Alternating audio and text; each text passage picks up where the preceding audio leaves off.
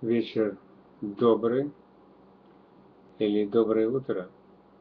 Значит, сегодня я поговорю о том, что одна из главных причин, почему такая большая эпидемия э, герпеса, герпес симплекс, герпес genitalis, потому что герпес зостер, все эти вирусы, бактерии, паразиты, они развиваются только тогда, когда имеется среда. Так вот, э, человек привыкает к тому, что он любит. И одна из углеводов, которые вот э, очень широко распространено в нашем цивилизованном государстве, это все, что от теста, бейкер. Так вот, представьте себе, э, древние народы, они практически не делали всего этого. Вот период, когда был еще каменный век, тогда э, люди не ели вот всего того, что мы видим сейчас на магазине. Так вот эти пирожные, мороженые, все это сдоба, пирожки, пельмени – все дает слизь. А слизь дает пищу для развития вирусов, бактерий, паразитов. Расскажу один случай, как и ко мне пришел один иранец.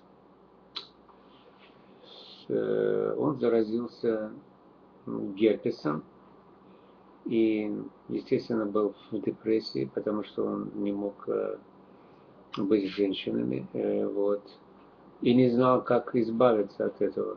И когда мы порекомендовали, я тогда работал, э, преподавал и обучал американцам в магазине здоровья с моим другом американцем, Чарльз его звали. Так вот, когда он пришел ко мне, он стал жаловаться, говорит, э, никак не могу вылечиться, да, и денег нет. Ну, я думал, он шутит, он сам был иранец. Вот, э, похоронил мать, э, развелся со своей любовницей. Одним словом, очень такой был период, когда он нуждался в товариществе и, естественно, в здоровье. И я говорю, расскажи, что ты ешь. Оказалось, 50% он ел углеводы, углеводистой пищи, включая вот эту всю сдобу. Называется у нас бейкери. И я ему сказал, если ты хочешь вылечиться, ты не должен есть э, продуктов так называемое питание, которые дают слизь в желудке. И получается как бы помойка, где распространяются всякие вирусы, бактерии, паразиты. Вот. И ему сказал, что надо есть, а что надо бросить. Естественно, я сказал, молочные продукты, они выделяют и при пищеварении дают очень большое количество слизи, вот, а в дальнейшем аллергическое состояние, особенно у детей. 60-70% детей, которые имеют аллергию на что-либо, главная причина это молочные продукты, молоко и тесто. Все, вся сдоба, мучное. Одним словом, э, я помог ему вылечиться. Я когда сказал, что это будет что-то стоить и так далее, но он сказал, что нет у меня сейчас возможности, поверь. И заплакал. Когда мужчина плачет, то это правда. Если женщина плачет, не всегда правда. Я говорю, ты знаешь, не беспокойся о твоем финансе, я еще со своего кармана заплачу. Я хочу тебя видеть здоровым и счастливым. И я сделал все возможное, чтобы он восстановил здоровье. Вот. И он когда-то мечтал, потом мы стали друзьями, лечить э, герпес. Но он был дилером, продавал машины. И как-то раз он взял меня в один комплекс, где было очень много бизнеса. Он говорит, ты знаешь, я хочу открыть бизнес, продавать пиццу. Ну, пицца была навязана в Америке еще в 20-х годах. И благодаря пропаганде, которая длилась более года, а потом только они навязали эту пиццу, потому что американцы не любили пиццу и не хотели есть. Но пропаганда сделала свое дело. А сейчас американцы не могут жить без пиццы, без фастфуд. Хамбургеры, чипсы. Все это не только засоряет, она медленно отравляет и э, как бы отравляет и кровь, и внутренние органы, и все клетки, и забивает кровеносный сосуд. Я ему сказал, если ты все это уберешь, я тебя вылечу, и не будет проблем. Он согласился, он говорит, я должен все сделать. Вот. В настоящее время он женат, у него дети, он купил дом себе, счастлив. Но я не к, не к этому. Я хотел сказать, что когда мы пришли в этот комплекс, все другие бизнесы практически не имели людей.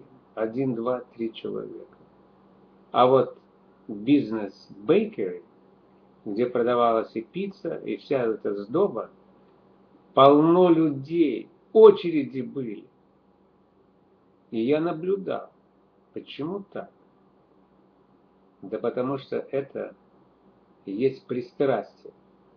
Это уже углеводная нарком, наркомания.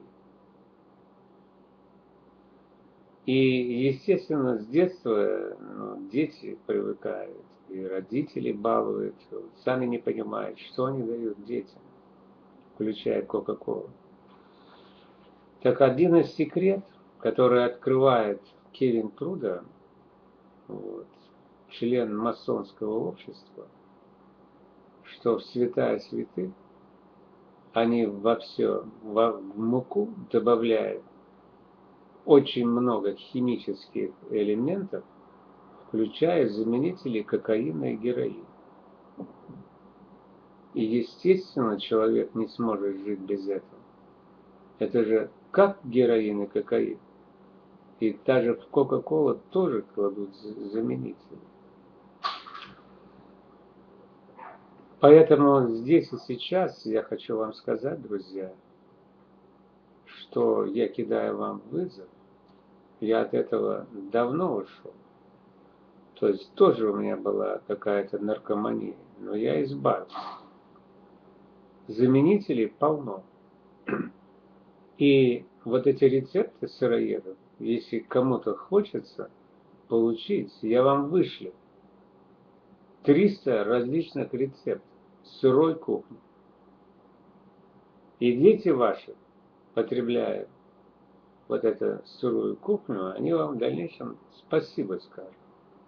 Потому что у них будут и здоровые зубы, и они будут нормально развиваться, и память будет хорошая. И спортом могут заниматься, потому что будет громадная энергия. Так как в природе мучное не существует. Можете делать э, разные сладости на пророщенном зерне.